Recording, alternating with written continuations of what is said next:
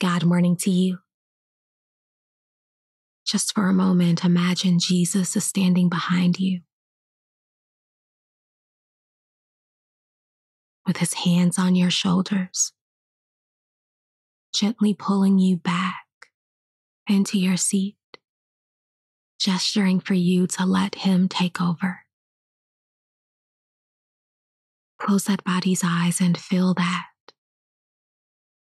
Feel him, feel his light behind you. That Christ light in front of you, on either side of you. Feel it in your feet. That's what moves them. You think you move them, he moves them. Feel his light in your legs, in your arms, in your hands. It feels like my cells are dancing and yet there are no cells here. Not really, there's no body here. Joel Goldsmith says a human being cannot be spiritualized. A human being cannot be spiritual. A human being cannot be God or the Christ, but in proportion as the human being dies to his humanhood, Christhood is more and more revealed, sometimes more to the onlooker than to the individual himself. That probably explains why a mystic cannot claim to be a mystic. Do you not see that in the moment that a person has experienced the Christ, he has beheld perfection, and from that moment on, he is comparing himself with that perfection? Do you see how unworthy he must become in his own eyes, even while others may say he has improved or he is a better man? The individual himself cannot feel that because he is always measuring himself against the perfection he has experienced and he knows how far from that he is. So Jesus could say, Why callest thou me good? There is none good but one, that is God. A man walking the earth cannot say, I am the Christ. That really is sinful, but for a person to know that the Christ is his identity is quite another matter. And forgetting his past sins, he looks forward to attaining the realization of that Christhood. If you hear within you, Thou art my Son, in whom I am well pleased. Be still and know that I am God. You are hearing aright. That gives you no privilege to say those words because in the saying of them, you reverse the meaning. The moment you say that you are the Christ, you have lost it. It is only when you hear that still small voice say those words that you are hearing truth. When you say, I am Christ, I am Spirit, I am God, you are trying to immortalize a human being, and you have only to look in the mirror to find that you are lying. But when that still small voice says to you, This is my beloved Son in whom I am well pleased, even though that person may at the moment appear to be dying or in dire need, you know that God has spoken to him and revealed his true identity. Then there must come a healing.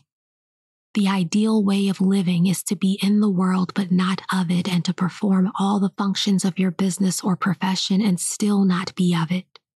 No one should believe that the spiritual life is intended to set him apart in a monastery or convent.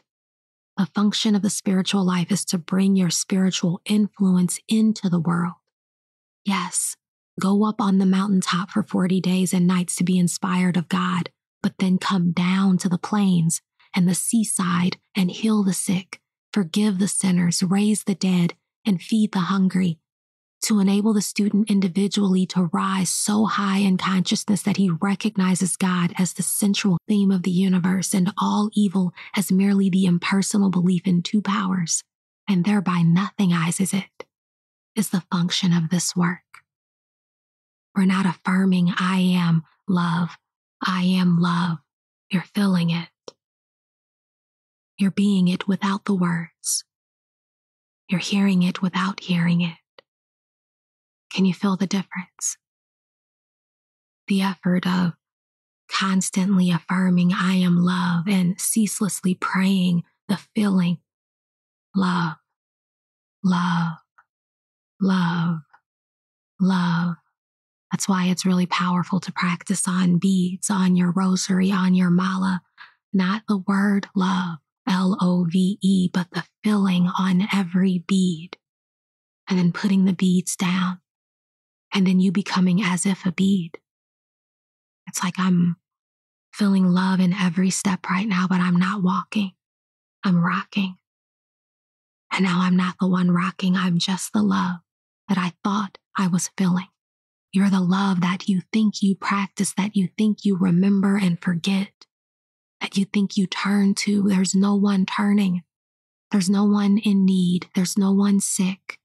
There's no one poor or strapped for cash. There's no one needing to figure out how to make it to next month.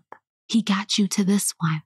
He will carry you further as long as you know you're not that you. Stop being her. Stop being him. Be love. Love takes care of love in the shape and the form of you, of that one that's sitting there rocking, trying, listening, filling. While you appear to be that one, you rock, you try, you feel, you listen, but you simultaneously know I am not rocking. I am that I am. And it's just a feeling. That feeling informs me of this truth. You read it or you're told it, and then you practice it. And then there's no practice left. My book, Wake Up to Love, is full of practices to get you to the place where you don't need even one.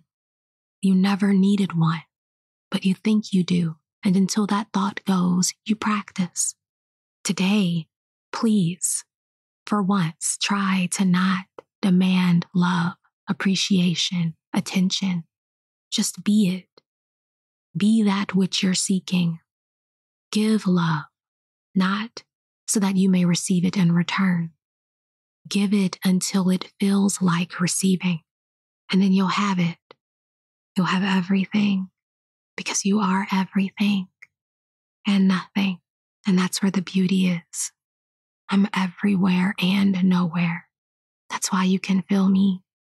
That's why you feel like I know you because I do, the part of you that is me too. You're not facing that problem alone. I'm right there with you in your ear whispering, it's not really there. Relax, calm down. Jesus is standing behind you, both hands on your shoulders. I'm taking over. Rest this weekend. Rest in me. Trust in me. Give me your mess. Give it to me.